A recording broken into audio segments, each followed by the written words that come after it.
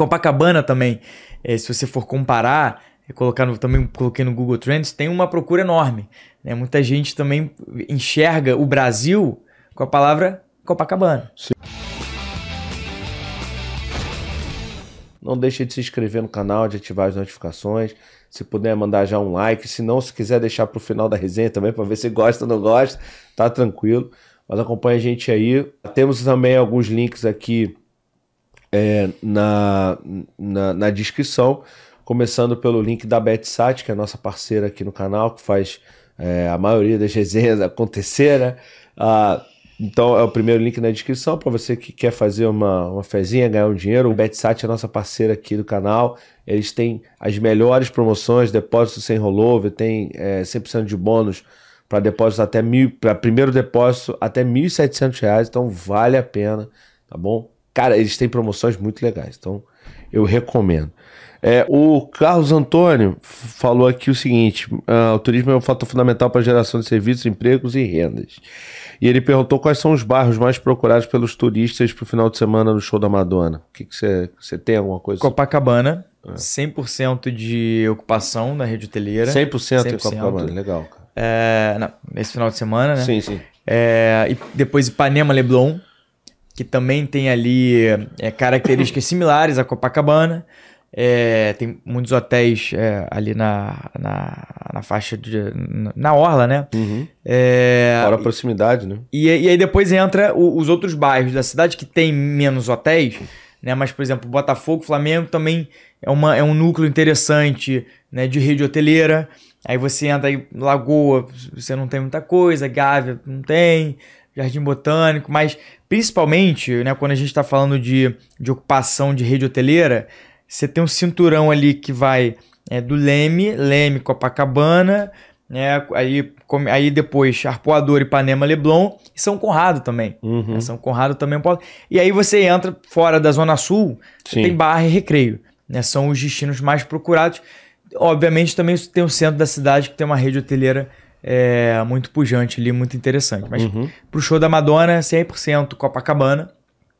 Copacabana também é, se você for comparar, colocar no, também coloquei no Google Trends, tem uma procura enorme. Né? Muita gente também enxerga o Brasil com a palavra Copacabana. Sim, sim. E aí eu, eu, eu ontem eu tava vendo um, um, clipe antigo do Black Eyed Peas. Uhum. É, qual, qual, é aquela música? Hey, baby. Não sei. Enfim, a música Mas antiga eu sei do. Qual é, só não. É. Na, na, na, na, Don't Lie. Don't. Lie é o nome da música. Eu tava Sim. vendo o clipe ontem que me deu vontade de ouvir. O clipe é gravado no Rio de Janeiro. Sim. É um clipe de, sei 15 anos atrás. E aí eu fiquei pensando, cara, novamente, né, eu se fosse o prefeito da cidade, daria dinheiro pro Black Eyed Peas fazer essa gravação.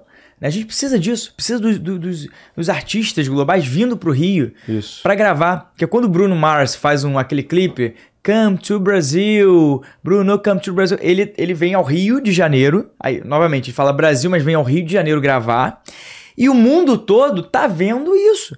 Então o Bruno Mars vai pra praia de Ipanema, tira uma foto, faz o clipe ali, o mundo todo tá falando assim, caraca, onde é que é esse destino turístico maravilhoso? É. Né? Então, assim, é papel sim do governo incentivar, ter políticas públicas é, voltadas para esse segmento. Uhum. Porque isso, no, no, final das contas, você está incentivando o turista, está fazendo propaganda da cidade.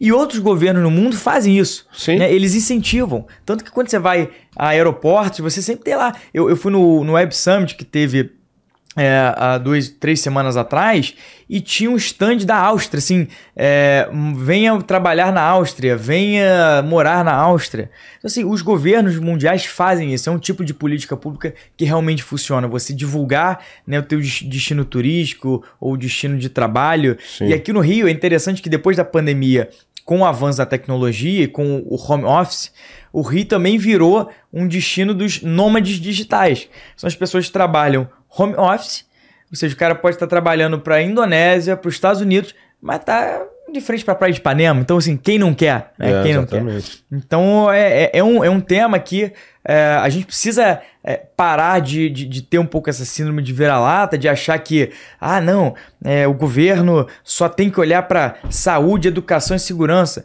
Sim, mas para isso você tem que criar essa rede, Sim. né? E envolve muito mais é, do que saúde, segurança e educação. Existem muitos outros temas importantes também para a cidade, porque no turismo você consegue arrecadar dinheiro para investir aonde? Em saúde, segurança e educação. Exatamente. Então é isso. É, eu acho que movimenta toda a economia e aí você tem né, dinheiro para poder, enfim, investir em outras, em outras frentes, né? A gente tem aí é, grandes eventos ao longo do ano, tipo Carnaval, como você falou, tem o Réveillon, e se tivesse um ou dois shows desse por ano, acho que melhoraria ainda mais né, a arrecadação da, da Prefeitura do Rio de Janeiro. O segundo link na descrição, ó, o curso do PT, tá? O curso do PT Jordan, o YouTube sem aparecer, para você que quer ganhar um dinheiro no YouTube aparecendo ou não. O PT Jordan, para quem não conhece, é um youtuber que tem só no canal principal dele 13, mais de 13 milhões de inscritos. E tem outros canais com milhões, mais de 60 canais, milhões e milhões de inscritos. E o cara faz dinheiro real no YouTube. Não tem esse negócio do curso para vender curso, tal, não sei o que. É um curso de verdade, vale a pena.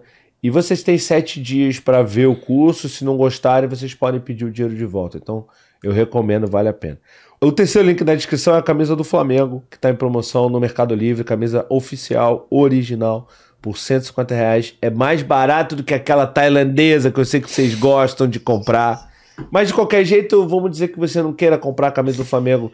Tudo que você quiser comprar, absolutamente tudo. A gente comprou uns copos Stanley que vão chegar aqui personalizados esse final de semana. É, tudo tem lá no Mercado Livre e você pode usar esse link que está aqui, que é o terceiro link na descrição. E obviamente vocês vão ter acesso a todos os benefícios